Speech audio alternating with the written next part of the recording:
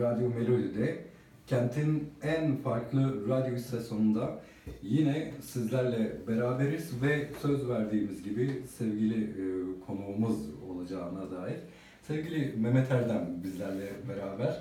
Hiç zaman kaybetmeyeceğim çünkü hem bizim e, zamanımız kısıtlı hem de kendisi biraz e, zorladı koşulları ama bizi her zamanki gibi gerçekten de kırmadı ve hemen hoş geldin Hoş bulduk, merhabalar. Mehmet abi. Şimdi biz Estağfurullah. abi diyoruz. Estağfurullah abi olur mu? Aa diyecekler ki bu kadar e, e, hani e, söyleyebilir miyiz? Bence Estağfurullah. tanıdıktan sonra Eyvallah. e, gerçekten de çok samimi. Sizin güzelliğinizden abi. Eyvallah. teşekkür ediyoruz. Biz her zaman seni sevdik. Böyle e, devam etmesini. Biz de her zaman seve seve geliriz. Sağ olun. zaman, nereye isterseniz. Hoş geldiniz. Hoş bulduk. Şimdi Antakya sizin için hemen ne ifade ediyor artık? Çünkü artık sürekli uğrak yerlerinizden bir tanesi. Eyvallah. E, sonuçta biz çok dolaşıyoruz, çok yer görüyoruz da yani bu buraya geldiğimiz için söylemiyorum. Antakya'nın özel bir e, yeri var. Yani zaten şehre girdiğimiz andan itibaren buranın öyle bir ruhu var. E, kardeşlik hissediliyor hemen hani bir, bir bütünlük e, paylaşım hissediliyor. E, ben zaten kardeş türküler zamanında da çok geldiğim için Evet oradan seni e, anımsay- e, anımsayacak olan dinleyicilerimiz var. Eyvallah. E, o yüzden hani heyecanlanıyorum ben işte her yere giderken belki o kadar heyecanlanmıyoruz E, ama Anadolu'ya geldikçe hele ki özel böyle şehirler var. E, Antakya'da Hatay'da onlardan biri zaten. E, Tam iyi, iyi ki olarak- buradayız. Tam olarak hatırlıyor musun kaçıncı defa gelişin olduğunu? Valla çok oldu ya. Yani o 15'in üstündedir herhalde. Kesin E, değil mi? kendim yani Ha, tek başına olarak- Kendim en azından 5-6 sefer geldim zaten. Geldiniz. Kardeş türkülerle daha sık geliyorduk zaten o zaman. Ha. E, o yüzden e, en güzel yemekleri yedik, en güzel dostlukları kurduk. Hoş Sağ olsun geldiniz. herkes. Eyvallah. Peki şimdi e, yıl 2019 yılı itibariyle birçok e, imza attığınız çok güzel çalışmalar var. En son tabii çıkış noktanız Hakim Bey oldu. Hakim Bey'den sonra şu ana kadar çok şey değişti mi Mehmet Erdem'de?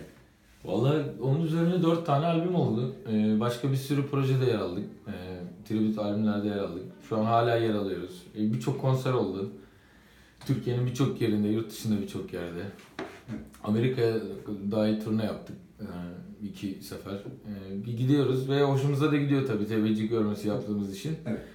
Ee, devam da edeceğiz böyle. Şimdi yeni senede yeni projeler de var. Ee, Bunlar, bunları biraz açabilme şansımız var mı projede? ee, şimdi mesela albümde zaten bir e, Ahmet Selçuk İlkan albümünde bir parça yapmıştık Ağlayamam. O Evet, e, çok o güzel. dinleniyor. E, Se- Sensiz Ben Olamam parçası var Evet. bizim albümümüzde.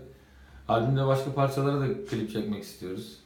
Şimdi yeni projeler çıkacak belki yani onun müjdesini vermiş olalım.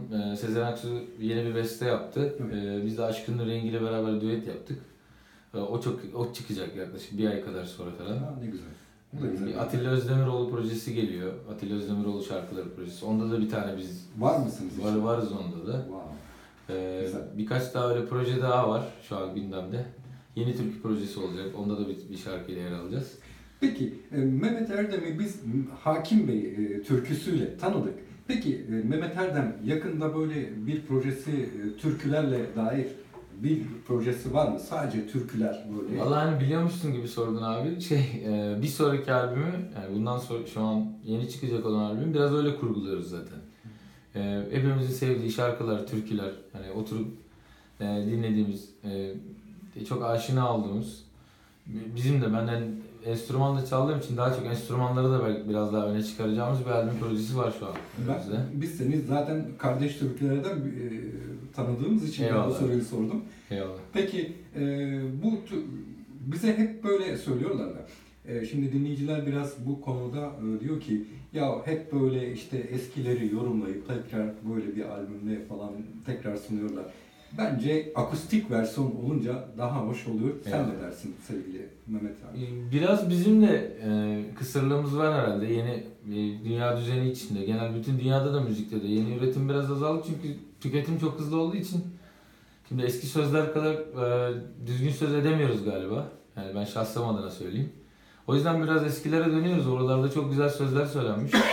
E, çok e, manidar şeyler var. Onları da kaçırmak istemiyoruz ki yeni kuşak da kaçırsın istemiyoruz.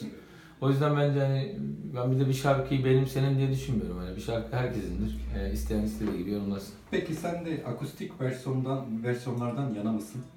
Tabii ki de biz zaten yani ben enstrümancı olduğum için biz hep canlı çalarız. Hani Daha iyi bilgisayar ortamında da bir şeyler üretiliyor. Tabii ki de sonuçta en sonu konsere çıkacağız yani. Yani bu canlı çalınmadıktan sonra çok şey e, man, mana ifade etmiyor. Şimdi mesela e, biliyorsun artık dijital, dijital ortamda olduğumuz için birçoğumuz e, sanatçı olarak da albümü sürerken önce bir türkü veya bir şarkıyı sürüyor. Ondan sonra beğenilirse ya albüm çıkarır. Doğru mu söylüyorum, yanlış mı söylüyorum? Yani şu an biraz da hızlı tüketildiği için hani sonuçta e, bir albüm hazır bile olsa tek tek çıkarılıyor kimi zaman. E, dediğin, dediğin gibi de oluyor abi. Hani bir şey tutarsa devam edelim mi de oluyor. Hı hı. Ama yani biz biraz daha eski kafalıyım ben yani o konuda. Biz bir yol e, yol albümü yapmak istiyoruz. Yol yoldaş olmak istiyoruz yani. E, o yüzden ilgili mesela. Evet. Yani en azından hani bir albüm arabada bir yerde bir bir yere giderken koyduğunda hani hiç geçmeden dinleyebileceğin, sana yoldaş olabilecek bir hikaye yaratmaya çalışıyoruz. Anladım. O yüzden tek şarkı bizi biraz şey yapmıyor hani tam derdimizi anlatamayız gibi geliyor bize tek şarkıyla. Anladım, anladım. Peki şimdi YouTube'da e, artık